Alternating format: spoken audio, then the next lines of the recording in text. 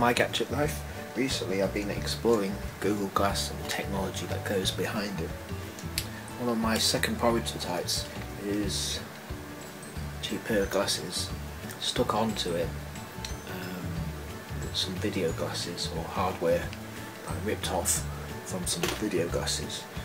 Um, this is a LCD block put at a certain angle, ribbon cable on the side is a LCD driver board and the output to um, the computer. Now my first idea was to use a Cubieboard which was fairly small and it's an all-in-one computer. Installed in it was um, Android OS which seems to do the trick.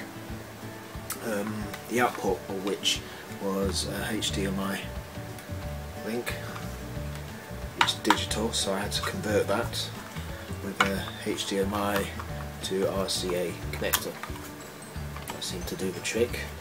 Um, this isn't ideal because the Wi-Fi I couldn't get to work. So instead I used the Ethernet connector and a mini router Wi-Fi router connected to that to get the ability to browse and look through my home network. Uh, all this seemed to work fine along with a large uh, emergency USB battery that I use um, but in itself it's fairly bulky and it needed a lot of wiring just to get this sorted out. Um, the interface, I tried a mouse, an optical mouse, which was a bit cumbersome because I had to hold the mouse and I had to use a flat table or some part of my body just to move the cursor. Didn't really uh, work too well. Next thing I, I used is this uh, dongle connected to this, which is connected to the Cubieboard, and mouse pad and keyboard. Seem to work but again I'm, it felt like I'm holding a, a mobile phone to control the whole thing. And the mouth pa mouth, mouse pad wasn't very um, sensitive either. So didn't think that this was the future of inputting your data or whatever. And uh, another thing was a gyro mouse. Inside is a gyroscope which um, orientates the cursor whenever you move left, move right or down.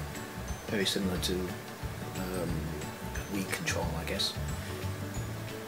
Exploring a different um, computer at the moment. If I just show you quickly, briefly, this um, smart TV dongle. Now, it turns an ordinary TV with a HDMI input into a smart TV because there's a, a processor linked with uh, normal computer architecture on this small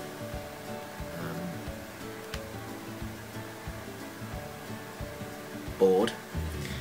There's a wireless link and this is my mouse dongle. So it allows me to quickly navigate through the menu systems fairly easily.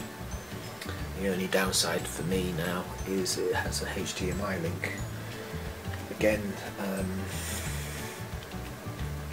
I circumnavigated the digital output with a HDMI converter you see that this whole thing is now lightweight which is basically what you needed. Um, in the future design I, I guess what I want to do is to link all that into a really small form. Maybe put it on the side of uh, glasses. I'm, I'm not sure if this sort of design is going to be um, good, any particularly good, but um, it works uh, with these three units in itself. At the moment, I've connected the HDMI computer, the Android dongle in this lightweight pack. Just it out. What it is is the emergency battery connected. See this ugly band of wires. What you have is the input for the glasses, which is an analog input connected to the HDMI converter, and from there is connected to dongle.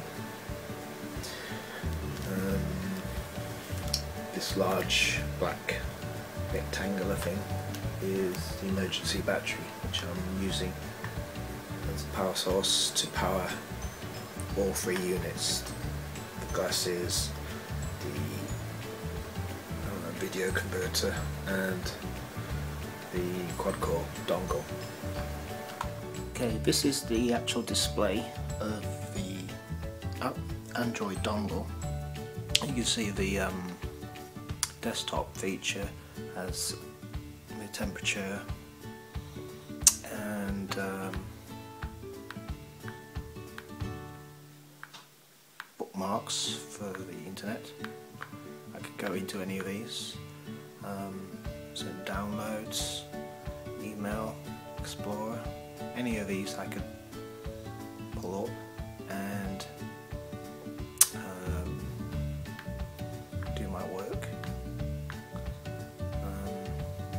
Skype, it hasn't fully worked on this system yet and I have Firefox here to browse the internet as well.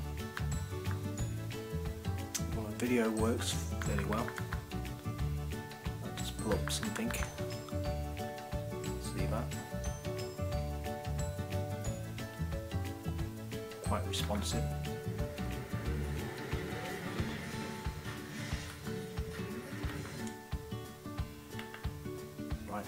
Get out, right click to go back to the home. Uh, I can play some music.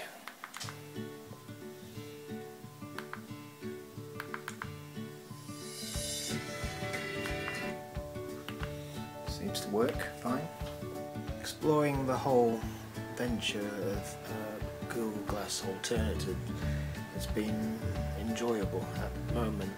Desktop is a little too busy for my liking. Scripts in the corner of your eye, just like this, is very very hard because uh, I've got the font smaller than my eye can actually read, so I have to zoom in a lot with, um, with reading uh, a lot of script or browsing through the internet. And I find out I'm, I'm doing that very often with this equipment here. Also um, maybe it's my short-sightedness my glasses on even with them on or off I'm finding out that uh, the corners of the screen uh, aren't as sharp or clear to me as the centre of the screen. Something I have to work on, I guess. But all in all, uh, the basic design of my wearable computer works fairly well. With some minor adjustments, I can actually perfect this, maybe have this very small and just have it as a pair of smart glasses with an additional uh, mouse control via a gyroscopic mechanism to allow me to explore the internet while walking. This is my gadget life and you're welcome to it.